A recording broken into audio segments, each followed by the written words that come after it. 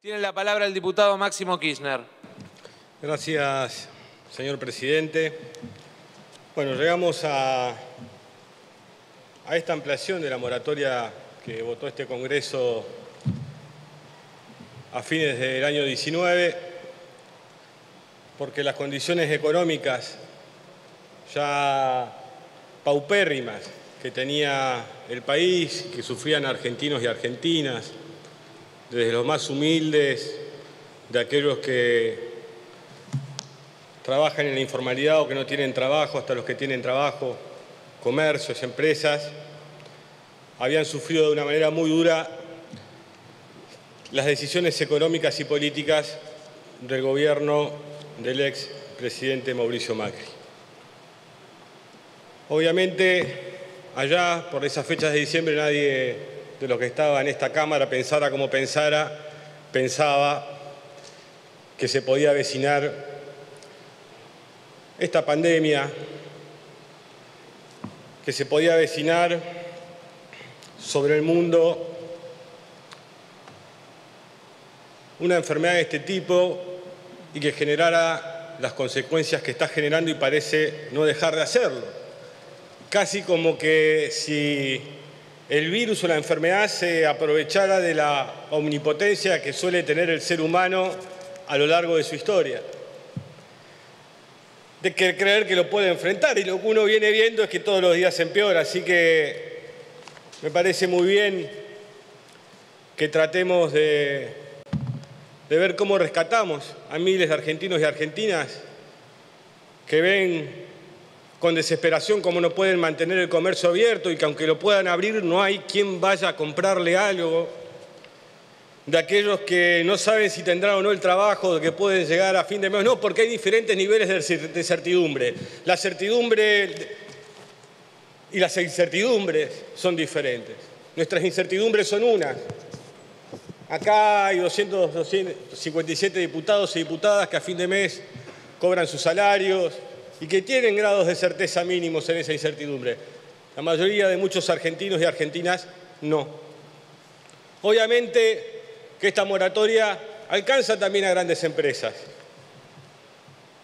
No solo a las que le ha gustado nombrar o ha escuchado nombrar durante todo el día en una falta de creatividad notable, porque yo les recuerdo que Así le hablaron a la sociedad durante cuatro años en vez de ocuparse de las cosas que se tenían que ocupar y así fue el resultado del 27 de octubre del 2019. Y la verdad que decir por un lado que se va a ayudar, que se va a trabajar en conjunto y cada vez que hay una oportunidad hay una catarata de divagues e insultos, bueno, allá cada uno con lo que quiera expresar. Pero lo interesante aparte es que lo que uno empieza a ver es que aquellos que promovían el agotamiento lógico, porque la sociedad está agotada también.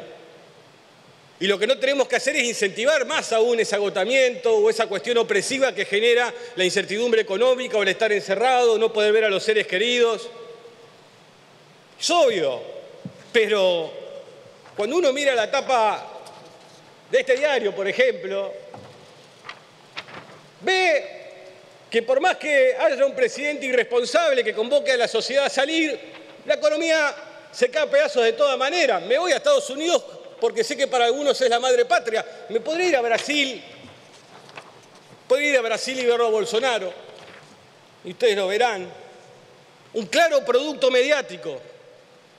Nunca hubiera sido presidente de Brasil Bolsonaro sin la ayuda de los propios medios de comunicación que hoy lo defenestran todos los días. Obviamente todos ponen cara de yo no fui y las consecuencias las sufre la gente siempre. Pero a todo este tipo de consecuencias económicas, los números de la caída de Estados Unidos, los de España, quisimos incentivar acá incluso, mire usted, ¿no? Parte de esos grupos que, que, hablan de la libertad, que quieren romper las cuarentenas, se llaman Argentina Despierta. Igual que a principio de siglo pasado en la Alemania en los inicios del nazismo. El nazismo nace con una consigna que era Alemania despierta. Coincidencias anacrónicas en el tiempo de unos y otros en diferentes continentes. Más allá de eso, y de estas situaciones también cómo salimos de esta situación económica en la que estamos inmersos. Entonces uno por ahí ve que se reúne la CGT y AEA. E y uno está muy contento que se reúnan. Creo que tenemos que dialogar entre todos y que el diálogo también debe ser franco, en una exposición de ideas.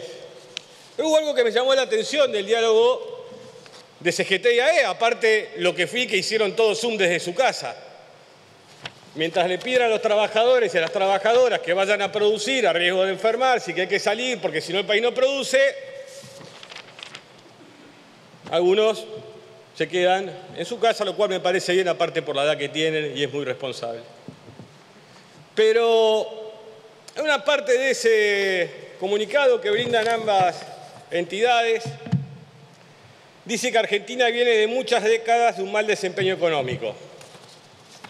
Y la verdad que si vamos por ahí, creo que van a tener un gran error, porque yo le preguntaría, por ejemplo, a Héctor Daer, que me diga cuántos afiliados tenían el 25 de mayo del 2003, cuántos afiliados tenía el 10 de diciembre de 2015 y cuántos afiliados tenía su gremio el 10 de diciembre de 2019. O le preguntaría, qué sé yo, acá veo, o a los otros gremios también, cuántos afiliados tenían, y ahí vemos realmente si es tantas décadas. Porque aparte, en AEA e dicen que fueron décadas muy malas económicas para la Argentina, pero no es lo que refleja el crecimiento de sus empresas que no se pongan en el lugar de los que no se tienen que poner. Incluso uno puede observar década tras década, 83, puedo decir, eh, Radio Mitre, en los 90 Canal 13, 2007 Multicanal Televisión, del 2007 al 2015 nada, y con el gobierno del expresidente e ingeniero Mauricio Macri, eh, Telecom, eh, que hoy también fue incluida dentro de la moratoria para que vean que no nos guía ningún tipo de odio ni de rencor, sino que realmente estamos preocupados por el destino de la Argentina, de sus empresas, de sus empresarios y fundamentalmente de quienes trabajan en ellas, de quienes trabajan en ellas, que es lo que nos debe ocupar. Porque si esto lo escribieran esos millones de argentinos que han abierto y cerrado sus comercios o que viven en los barrios más marginales y populares y que son los que realmente aparte muchas veces sufren las peores de las inseguridades, Diríamos que en estas décadas, por lo menos muchos de los que están acá no podrían tener esta referencia. Esto por un lado, para aclarar, y está muy bien y hay que insistir en el diálogo, pero si el diálogo va a ser cuando uno ve y se habla de presión impositiva, entonces uno va a los números y dice, ¿cuál es la presión impositiva? ¿Cómo se reparte la carga impositiva? Y resulta que en la Argentina, por ejemplo, el año pasado el 48% de la recaudación fue producto del IVA y el 33% de ganancias. Pero cuando uno se meta dentro de ganancias, ve que el 33% de ganancias está constituido por los salarios de los trabajadores que pagan ganancias. El 24 por diferentes cuestiones y el 45 por las empresas. ¿Cómo puede ser que pague más ganancias un trabajador que alguna empresa energética que el año pasado pudo ganar entre 8.000 y 8.500 millones de pesos y por diferentes métodos de deducción como el ajuste por inflación, que fue parte de la reforma tributaria de macrismo, terminan pagando cero? Y que los mismos que están todo el día en vez de hacer un acto de contrición y sentarse a dialogar como saben que lo hago constantemente, hacernos nos explicaran cómo es que funciona esto.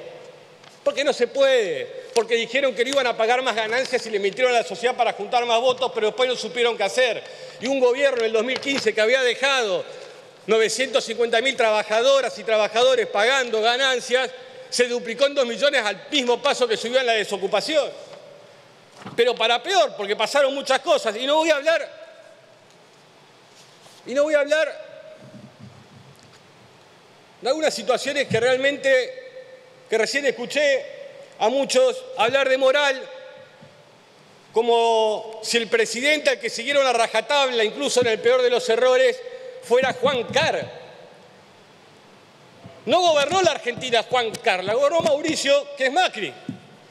Macri, Macri el de Sebel, el que se lleva puesta a la Corte Suprema, Macri el de Rucauf, Macri el del Correo Argentino, que incluso, miren, miren lo que será la paradoja, no le pagaba el Correo Argentino,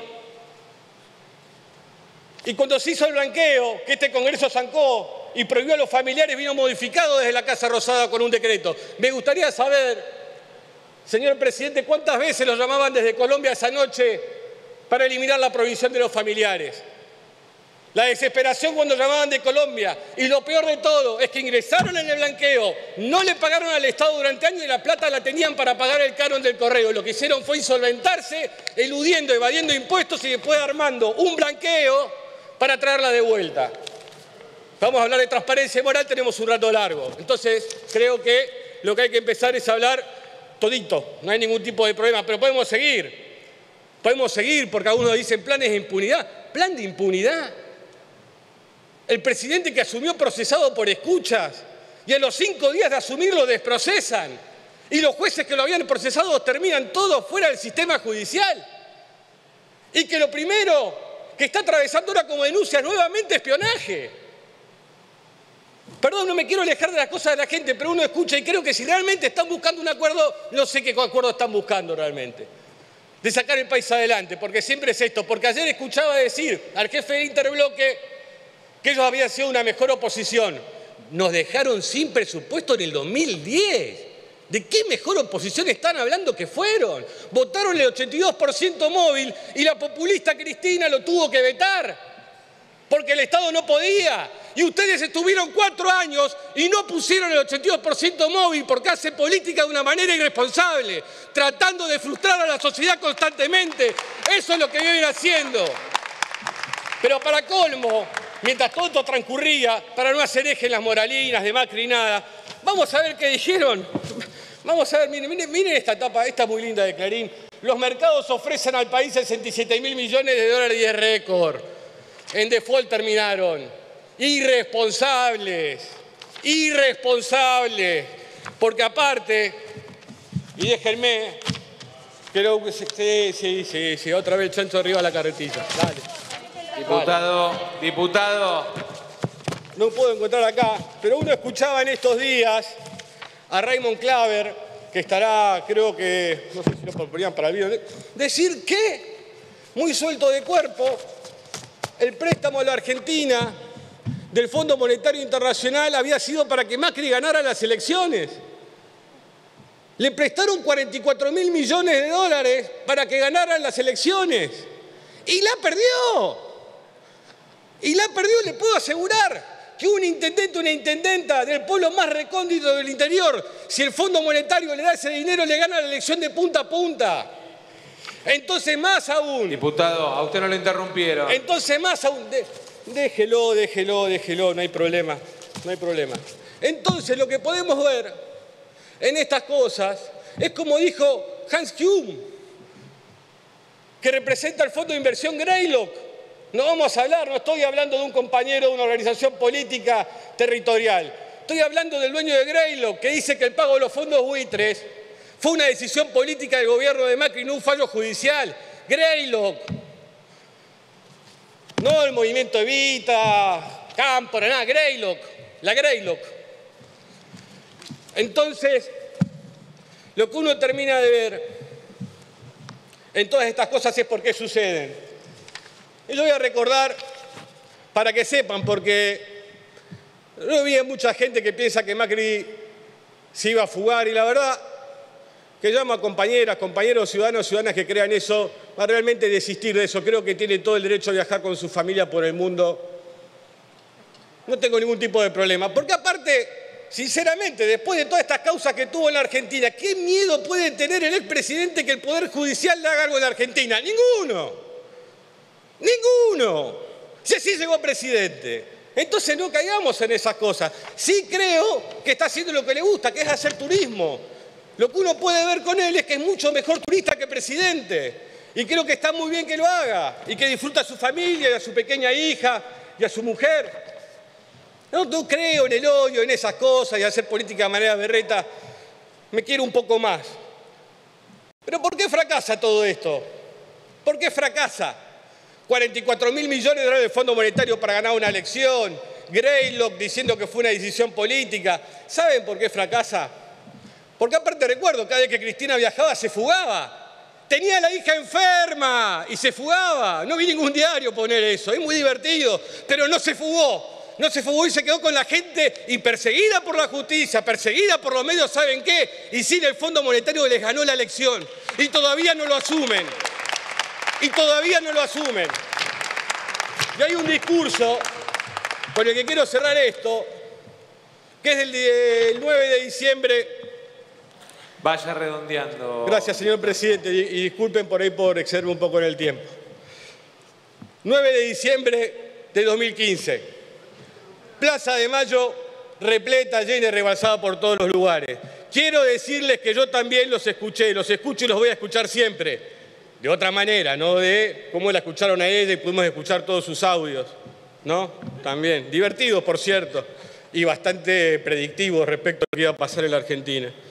Quiero decirle a todos y todas que después de estos intensos 12 años y medio con todos los medios de comunicación hegemónicos en contra y después de estos 12 años y medio con las principales corporaciones económicas y financieras nacionales e internacionales en contra, si alguien tenía duda, el Fondo Monetario le puso 44 mil palos a Macri, los títulos de los diarios ya se los mostré, y medio de persecución y hostigamientos permanentes, lo que yo denomino el partido judicial, si después de todo eso, de tantos palos en la rueda, de tantos golpes, intentos de golpes destituyentes, si después de tantos ataques, persecuciones, difamaciones y calumnias pudimos estar aquí dando cuentas del pueblo, imagino que con tantas cosas en contra hemos hecho tantas cosas por los argentinos, ¿cuánto podrán hacer los que tienen todos estos factores de favor?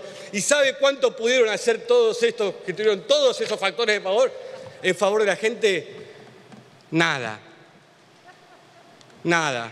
Más humildad y tratemos realmente de ponernos donde tenemos que estar y los argentinos necesitan. Muchas gracias, señor presidente.